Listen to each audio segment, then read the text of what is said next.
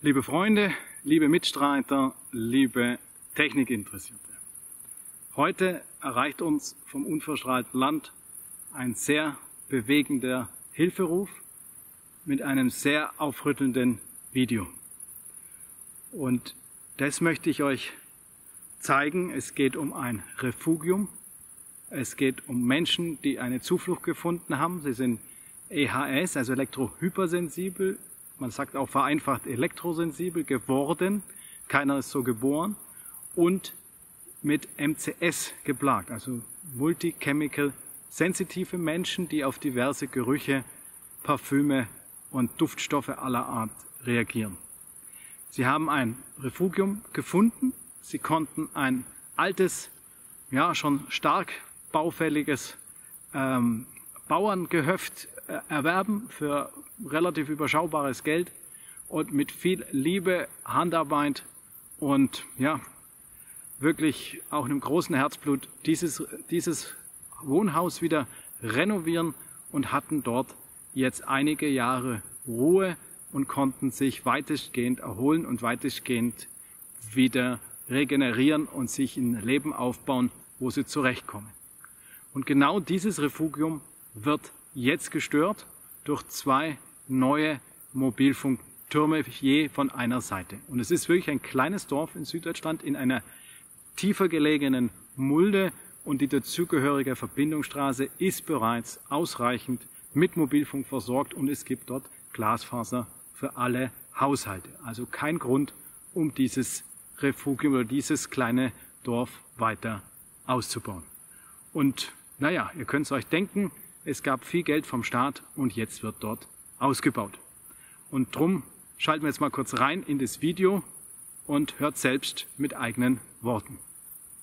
Liebe Mitmenschen, wir möchten uns heute mal an euch wenden und euch eine sehr intensive Menschenrechtsverletzung, die hier läuft, euch darüber zu informieren.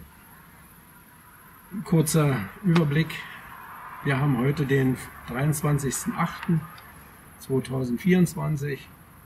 Wir befinden uns hier in Süddeutschland und wir erleben im Augenblick eine Folter und eine Situation, die unbeschreiblich ist. Kurz zu unserer Vergangenheit. Wir sind Strahlenflüchtlinge im eigenen Land und seit mehr als zehn Jahren wohnen wir hier auf einem Grundstück in einem kleinen Dorf. Es ist ein kleines Refugium und mit drei Bewohnern, drei Familien und wir sind eigentlich vor den Strahlen aus der Stadt und später auch aus dem kleinen Dorf geflüchtet und haben damit Riesenprobleme. Unsere letzte Situation ist, dass hier in der Nähe zwei Sendemasten aufgebaut worden sind. Der eine ist vor kurzer Zeit äh, so bestückt worden, dass er in Betrieb gegangen ist für drei Tage. Wir hatten die übelsten Probleme, Symptomatiken und mussten in den Wald fliehen und im Auto schlafen und können eigentlich unter dieser Folter nicht mehr leben. Ich glaube, die Worte sprechen für sich. Und bevor wir jetzt in den zweiten Teil des Videos reinschauen, möchte ich nochmal sagen, für diese Menschen besteht absolute Lebensgefahr. Also es geht hier nicht um irgendwelche Befindlichkeitsstörungen oder oberflächliche Einschränkungen. Hier geht es ums Überleben. Und wir wissen aus der Aussage von der Dr. Paulini, von der Chefin des Bundesamtes für Strahlenschutz, dass besonders ähm, kranke Menschen und chronisch kranke Menschen, natürlich auch Kinder, Schwangere, von dieser Strahlung am meisten betroffen sind und dass die Grenzwerte für diese Kategorie Mensch nicht gelten. Die jetzigen Grenzwerte schützen nur vor Überhitzung gesunder Menschen bei nur weniger Minuten Bestrahlung pro Tag. Also für Dauerbelastung und für kranke oder kleine oder große Menschen, alte, behinderte und eben chronisch Kranke gibt es keine Grenzwerte. Und darum sind diese Menschen hier akut von Lebensgefahr betroffen. Sie haben sich aber gewehrt oder sie wehren sich sehr aktiv mit den ersten Plänen, das war über drei Jahre her, wurden alle zuständigen Behörden aufgefordert, hier zu handeln und hier zu helfen. Aktuell läuft auch ein Gerichtsverfahren und es bleibt jetzt sehr spannend, was alles passiert. Und ja, ein letztes ist jetzt eben passiert. Der Sender, ein Sender steht jetzt im, soweit fertiggestellt da, war auch schon drei Tage im Probebetrieb. Das heißt, er hat massiv gestrahlt und ihr habt es gehört, sie mussten deswegen in den Wald gehen. Das wurde jetzt wieder abgestellt, auch bis die ganzen Gerichtsverfahren entschieden sind. Und es besteht jetzt die Gefahr, dass jederzeit dieser Sender wieder in Betrieb gehen kann.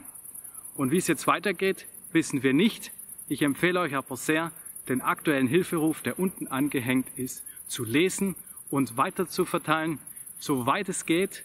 Das muss an die Öffentlichkeit. Es müssen viele Menschen erfahren, wie momentan Behörden und Verantwortliche mit unserem Grundgesetz, mit dem Recht auf die körperliche Unversehrtheit umgehen und mit dem Recht zum Schutz der häuslichen Umgebung. Also hier sind massive Menschenrechtsverletzungen und die Flüchtlinge im eigenen Land, die jetzt gerade mal wieder ein Dach über dem Kopf haben, sind wieder gefährdet zu fliehen, wissen natürlich nicht wohin und ja, ich denke, es spricht alles für sich. Hört euch den zweiten Teil an und ja, nehmt diese Menschen mit ins Gebet, überlegt, was ihr konkret tun könnt und denkt immer dran, ihr seid vielleicht schon morgen die Nächsten. In diesem Sinne, euer Uli Weiner hier aus einem der letzten Funklöcher Deutschlands. Wir sind dafür eingetreten, dass hier ein radikaler Baustopp stattfindet. Wir haben uns ans Bundesamt für Strahlenschutz, wir haben uns an das Bundes, äh, Bundesnetzagentur gewandt, wir haben uns an das Bundesministerium für Umwelt gewandt und überall nur erfahren, nee, das wäre alles rechtens und unterhalb der Grenzwerte gibt es keine Beschwerden. Studien zeigen, dass es nicht so ist. Unser Beispiel und ich denke auch ein Beispiel von Tausenden, wenn nicht sogar Millionen Menschen, die hier in Deutschland leben, spüren mehr oder weniger die Strahlung und haben damit Riesenprobleme. Einige sind schon von uns gegangen durch die Strahlung, nicht weil sie so krank waren, sondern durch die Strahlung, durch die Dauerbestrahlung, der sie ausgesetzt sind. Und viele suchen intensiv nach einem Funkloch, nach einer Möglichkeit zu überleben. Das sind eigentlich existenzielle Bedürfnisse, die wir haben und wir möchten äh, unsere Grundrechte, laut Grundgesetz Artikel 2.2, dass wir eine körperliche Unversehrtheit haben. Das läuft hier im Augenblick überhaupt nicht. Das Grundgesetz wird nicht angewandt. Auch die Unverletzlichkeit der Wohnung ist nicht gegeben. Und so sind uns eigentlich diese Grundrechte, die auch in Artikel 3, dass man wegen der Behinderung nicht vernachlässigt werden darf, äh, sind nicht gegeben. Die EU hat 2011, im Mai 2011, die EU-Ratsresolution 1815 mit der DOC 12608 äh, herausgegeben, in dem empfohlen wird für uns, die elektrosensiblen oder EHS oder Funkstrahlengeschädigten oder wie man es auch benennen will, Anerkennung, Schutz und Schutzgebiete zu machen. Das ist nicht nur das, das Einzige, sondern wir haben also eine ganze Liste von Hinweisen von der EU, vom EU-Parlament, vom Umweltausschuss, den EWSA mit Amtsblatt 105, Seite 38, Absatz 4, 13. Da wird gesagt, dass wir besonders schutzbedürftige sind und dass wir besonderen Schutz uns angedeihen lassen sollten. Äh, das sind alles grundsätzliche Dinge, die alle außer Acht gelassen werden. Und vielleicht ist für euch am interessantesten, dass der Ausschuss für Bildung, Forschung und Technikabschätzung des Bundestages, hört, hört, äh, in der Bundesdrucksache von 2003, Seite 27, äh, sagt, von den Studien an menschlichen Probanden entstanden 79 Prozent positive Befunde. Die meisten Effekte betreffen das Nervensystem oder das Gehirn, 86 äh, Prozent. Es folgen äh, Effekte im Zusammenhang mit Krebs, 64 Prozent. Ich denke, dass die meisten Menschen Erfahrung in ihrem persönlichen Umkreis haben, dass schon einige ihrer bekannten Verwandten verstorben sind, die in der Nähe von Funkmasten gelebt haben. Die Dauerbestrahlung ist eben für die Menschen schädlich. Und diese Sachen werden durch Tausende, mittlerweile Tausende Studien belegt.